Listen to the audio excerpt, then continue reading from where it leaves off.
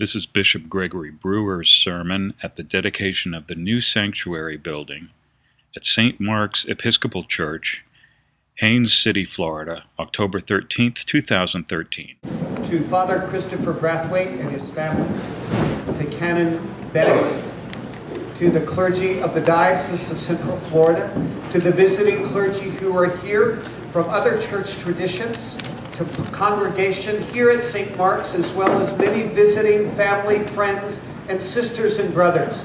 I want to say to you, it is an honor that we can gather here today, even though we are from many different places, together as the collected body of Christ here at St. Mark's Church to thank God for what God has done in the building of this building. For that, I must tell you, I am profoundly grateful. And I want you to know that it warms, it warms my heart because when we prayed the things that we prayed, especially at the beginning, it laid out in very clear detail what God's purpose was for this place. We dedicate this place and may it be a place where your name is praised, where we can ask forgiveness, where we can know your healing power, to hear your word, to be nourished by the body and blood of your Son. Be present here to guide, to judge, to illuminate, and to bless your people. You see, so long as the very things that we pray are, in fact, the manifest purposes of what people see through God's people as we gather in this building, we can walk in the assurance that this will be a place that God blesses, that He places His hand upon, where people know that they can come here and the body of Christ gathered will gather around Him and them who come so that this house will in fact be the very thing that Jesus said His house should be, a house of prayer. And a house of prayer for all people, not just some people, but a house of prayer for all people. So that no matter who you are, no matter where you've been, no matter where you've come from, no matter who your family is, no matter where your background has been, when you come here and you say, Oh, my hunger is to meet God, not just see people, my hunger here is to meet God, then God's purposes for this building and for His people gathered here in this building will kick into action at the cry of a hungry heart that calls out to Him. And God, in His mercy and in His grace, in His wondrous power, in His compassion, in His tender and steadfast love, as people reach forth their hands, God will reach forth His hand and touch them in ways that only He can.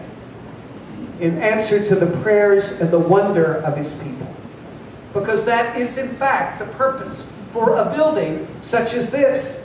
Because it is to that extent that this temporal building and this body of people are become instruments that God uses to be the manifestation, as it says in Revelation, of the New Jerusalem here.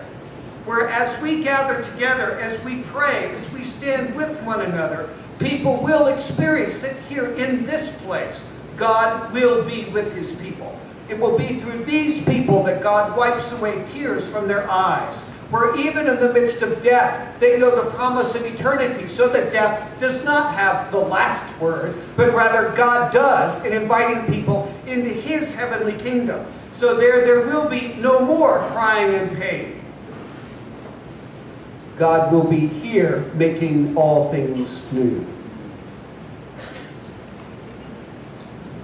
But if a building becomes a monument to personal achievement, then things will change. If this building becomes a place where the only reason people gather together is so that they can take up collections to keep the building going, then the purpose of this place will change. If as people are welcomed in, they become respecters of persons so that someone of means is welcomed and is given a very good seat because we know that they will contribute to the upkeep of this building. And somebody else who does not have that kind of means is says, so you can stand over there. then God's purpose for this building will change. You see, there's a warning in these scriptures. And it's the gospel reading where Jesus chases the money changers out of his temple. Remember, this is the very same building where we read the story of Solomon laying down and praying, where the power of God comes down and touches people, where the glory of God is so present and so manifest, the scripture says, that the priests can't even minister. What happened? Did God change his purpose? Oh no. God did not change his purpose. God's purpose with that building would be a place where people would meet him. And so long as that building had been a place where people would come and meet him, his hand of blessing would rest upon it. But if what begins to happen is that when people come here, they don't meet the God of all compassion and grace, the God who manifests his will in love and in forgiveness and mercy, that joins people together where reconciliation happens, where the blind see and the lame walk, where miracles occur, where people are restored in whole new ways, in ways that only God can do. If those things happen, the blessing remains. But if they meet someone else, a respecter of persons, a person who says, I like you, but I don't want you to be here because you should not be a part of us, a respecter of persons that says, we like you because you might be able to give us more financially than somebody else, then at that point, I'm not sure they're meeting the true God anymore. Are you? You and I have been in plenty of buildings, at least I have, that started well. But then in the end, and how many years? Sometimes it doesn't take long, a generation. And the building might still be lovely, but it's beginning to decay. Instead of a place being filled with joy, you have a few loyalists who continue to hang on, but for a very long time, everything is in decline. God has taken away his hand of blessing. May that never be said of this church. May that never be said of this people. May that never be said of those who gather here today and who by the very declaration of their own words has said, we want to be a part of God's purposes. We want to be a place where forgiveness and mercy and healing, where power, where a body learns to love each other, is in fact manifested. Where in fact what occurs is that when people come in, he, that someone will look around and say, how you love each other. Because Jesus said it is by this shall all people know that you are my disciples. Not just by the fact that you build a building. So there is both the promise of blessing if we persevere in God's purposes. And also there is the warning of what could happen if we choose not to be faithful to God's purposes. So there is a warning as well as a blessing. Because you see, there are two buildings. There's the temple that had fallen under judgment. And then there's the New Jerusalem coming down from heaven. May this house of prayer always have the characteristics of the New Jerusalem and not like the temple that's under judgment.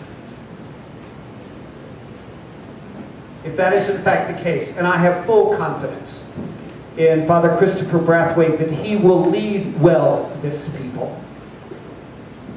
That as this place continues to grow and know the blessing of God upon it, what will be manifested is that kind of love and compassion. We will gather here again and again and again, giving thanks for the wonder and the miracles of what it is that God is doing. But for that to happen, we're not here merely to dedicate a building. We're here to dedicate the temple of our own hearts. To say, God, even as there is a new building, work in us a new heart. Even as this building is under construction, thank you that we are under construction and you are not through with us yet. There used to be a button that people would wear and it said, please be patient. God is not finished with me yet. That's what we say, you see.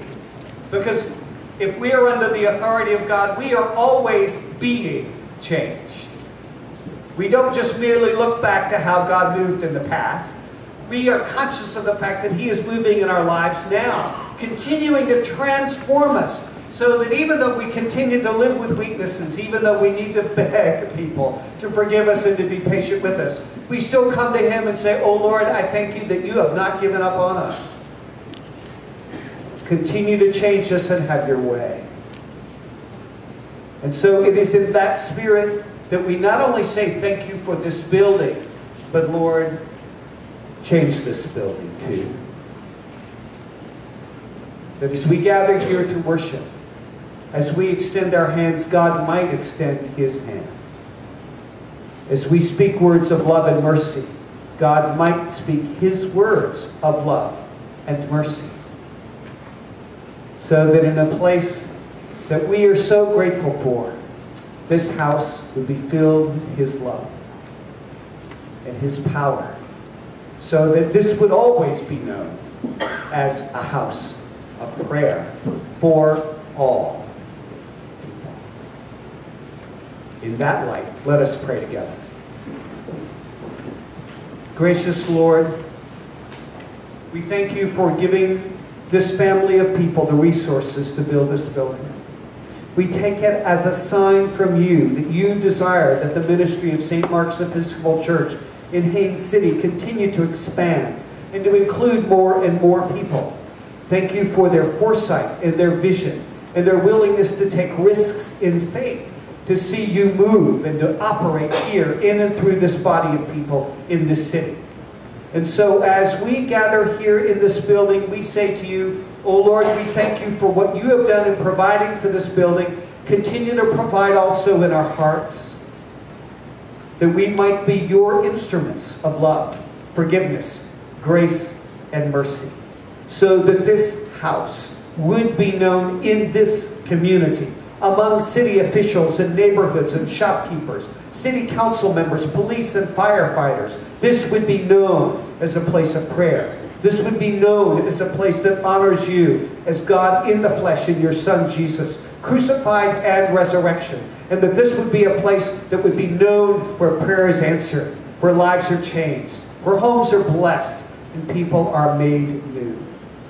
May that always be true here, O Lord. For we consecrate and dedicate not only this building, but ourselves, and say, Be glorified in all that we say and do. For it is in the name of Jesus Christ our Lord that we pray. Amen. Amen.